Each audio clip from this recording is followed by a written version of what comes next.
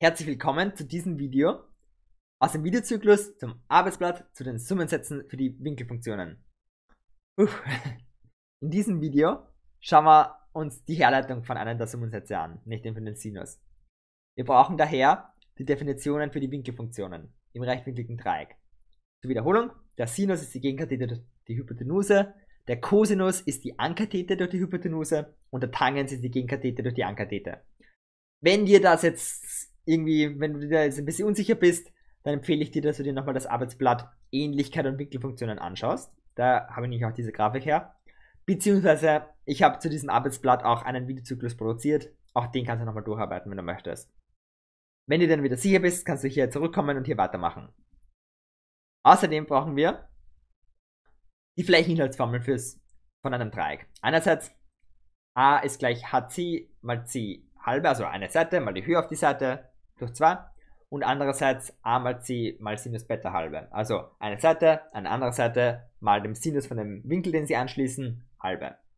Wo kommen die her? Auch dazu habe ich mir ein Kassel stibitzt und zwar vom Arbeitsblatt Allgemeines Dreieck. Zu diesem, Dre äh, diesem Dreieck, zu diesem Arbeitsblatt gibt es auch einen Videozyklus. Um, auch das kannst du dir nochmal anschauen, wenn du, wenn du das genauer bearbeiten möchtest. Ich erkläre trotzdem schnell, wo das herkommt. Einerseits die erste Formel kann man sich überlegen, hier ist ja so ein, ein Rechteck eingezeichnet, so mit einer gestrichelten Linie. Und dieses Rechteck, Rechteck hat die Fläche C mal HC, also einfach Länge mal Breite. Und das Dreieck, was hier in Grau eingezeichnet ist, hat ja die halbe Fläche von diesem Rechteck. Deswegen C mal HC halbe. Wo kommt jetzt die andere Formel her? Naja, wir können ja hier Beta einzeichnen. Und wir können uns überlegen, dass der Sinus von Beta, wir haben gerade gesagt, Sinus ist Gegenkathete durch Hypotenuse. Also in dem Fall Sinus von Beta ist gleich HC durch A. Und wenn wir das umformen auf HC, dann haben wir HC ist gleich A mal Sinus Beta. Wie hilft uns das? Naja, wir können das HC, also diesen ganzen Term hier, da oben einsetzen. Und dann kommt raus, A mal C mal Sinus Beta, halbe. Das heißt, wir haben gezeigt, wo diese beiden Formeln herkommen. Die brauchen wir jetzt. Was machen wir in diesem Video? Wir wollen den Summensatz für den Sinus herleiten können. Okay? Dann schauen wir uns mal an, mit was wir es zu tun haben. Das ist das Kastal, das wir bearbeiten. Das ist am Arbeitsblatt einfach ganz unten. Und ich habe das jetzt zweiteilt, zweigeteilt, weil ich habe den Platz sonst am Bildschirm nicht habe. Und gleich ja, die Situation, wir haben ein Dreieck, das ist in zwei Teile geteilt, also A1 auf der linken Seite, A2 auf der rechten Seite. Und wenn du genau schaust, dann siehst du, dass die Höhe von diesem Dreieck ähm, 1 ist, okay? Und wir sollen jetzt, oder du sollst jetzt, die vier Seiten, die hier, ähm, also die eine Seite, die andere Seite und die zwei Teile von der unteren Seite, ähm, beschriften und ausdrücken durch Alpha und Beta. Und dann, wenn du das hast, sollst du A1 und A2 durch Alpha und Beta ausdrücken. Wie immer gebe ich dir drei Sekunden Zeit, um das Video zu pausieren, damit du mehr Zeit hast zum Nachdenken, vielleicht nochmal zurückblättern kannst, nochmal irgendwie dir was überlegen kannst. Und wenn du bereit bist, dann kannst du wieder das Video fortsetzen und ich zeige dir, wie ich das gemacht hätte. Also drei Sekunden ab jetzt. Sehr schön. Also, die erste Beobachtung, die wir machen, ist ah, Beobachtung. Das erste, was wir uns zu, zu Herzen nehmen, ist, dass der Tangens die Gegenkathete geteilt durch die Ankathete ist. Wenn wir uns überlegen, was der Tangens von Alpha ist, dann ist es ja die Gegenkathete, also der Teil da unten, geteilt durch 1. Das heißt, wir wissen, dass dieser Teil hier Tangens von Alpha ist. Und ich mache hier Klammern. Vollständigkeit halber. Selbst sagen wir auf der rechten Seite. Tangens von Beta ist diese Länge geteilt durch 1. Naja, wenn ich diese Länge durch 1 dividiere, dann ändert sich nichts. Wie schaut das jetzt für die, für die anderen beiden Seiten aus? Ähm, wir wissen, dass der Cosinus die Ankathete durch die Hypotenuse ist. Okay? Die Ankathete ist jetzt aber wieder 1. Das heißt, wir wissen, dass dieser Teil hier 1 durch den Cosinus von Alpha ist. Warum? 1 dividiert durch 1 durch den Cosinus. Ja, Doppelbruch auflegen, dann kommt der Cosinus nach oben. Und ja, also Cosinus von Alpha ist 1 dividiert durch 1 durch Cosinus. Also Cosinus von Alpha ist 1 durch diese Seitenlänge. Und auf der rechten Seite genau dasselbe. 1 durch Cosinus Beta entspricht genau der Länge von dieser Seite.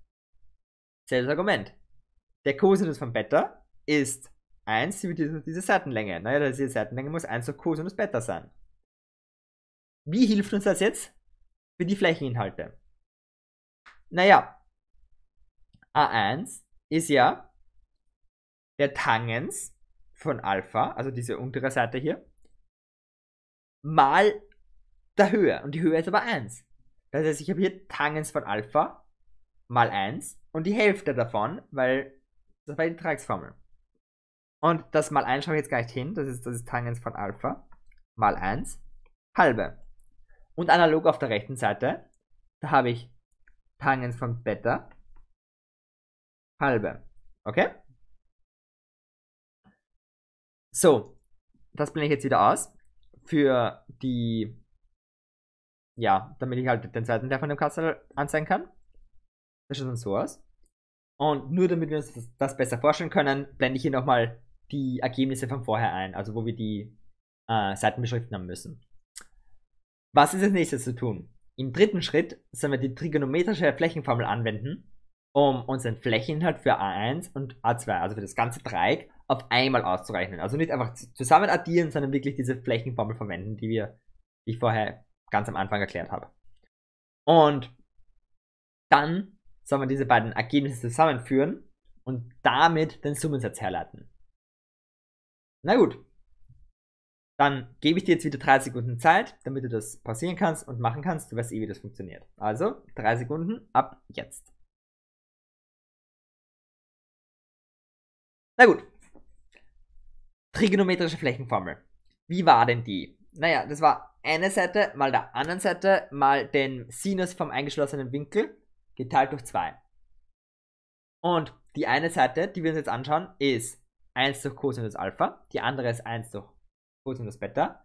Und den Winkel, den die beiden Seiten, also den diese Seite und diese Seite, den die anschließen, ist ja genau, ah, ich lösche das wieder weg für die Übersicht, Alpha plus Beta. Also dieser Winkel hier, ja. Und, naja, dann schreitet mal hin. Also, die I, ich, das durch zwei schreibe ich vielleicht ganz an den Anfang. Okay? Und dann kommt die eine Seite.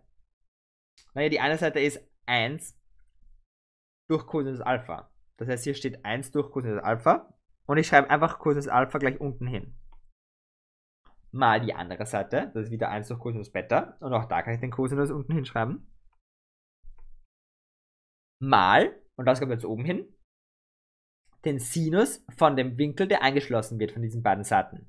Der Winkel, der eingeschlossen wird, ist ja Alpha plus Beta. Also steht hier oben Sinus von Alpha plus Beta. Okay?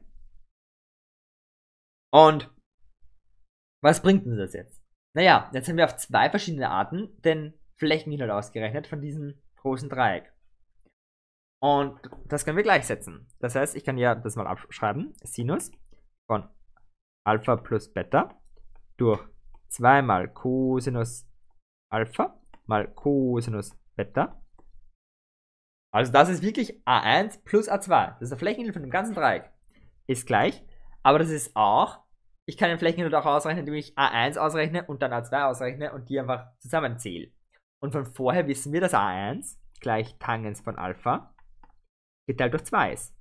Und wir wissen, dass A2, also das durch da dazu zählen, gleich Tangens von Beta durch 2 ist. Also was habe ich hier gemacht? Ich habe A1 plus A2 gerechnet. Und A1 ist Tangens von Alpha durch 2. Und A2 ist Tangens von Beta plus, äh, durch 2. Na gut, hier kann ich jetzt Cosinus Alpha und Cosinus Beta auf die andere Seite bringen. Und vielleicht eine kleine Notiz. Der Tangens ist ja der Sinus geteilt durch Cosinus, okay? Also von irgendeinem Winkel. Eines von Alpha vielleicht. Das brauchen wir jetzt. Weil ich kann hier mal 2, der 2r, der kürzt sich sowieso überall weg. Ähm, mal Cosinus Alpha mal Cosinus Beta. Okay? Und was bekomme ich dann? Dann habe ich Sinus von Alpha plus Beta. Eh, das schaut schon so aus wie das, was wir eigentlich ausdrücken wollen. Ist gleich. Der Tangens, haben wir gesagt, ist Sinus durch Cosinus.